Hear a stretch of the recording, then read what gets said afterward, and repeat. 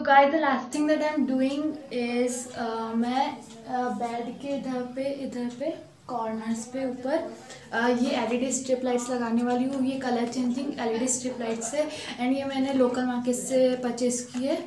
सो so, मैं ये stick करने वाली हूँ बेड के ऊपर एंड देन इसके बाद देखते हैं रिज़ल्ट क्या होगा और मैं रिज़ल्ट भी बहुत ही ज़्यादा